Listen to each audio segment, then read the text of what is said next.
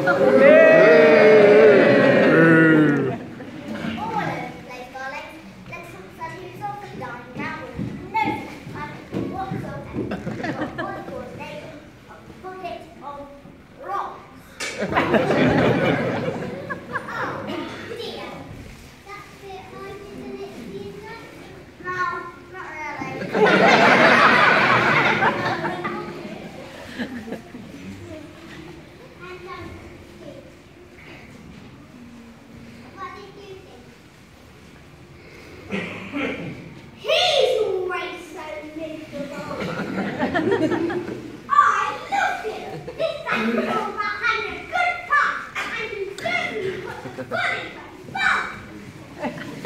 time.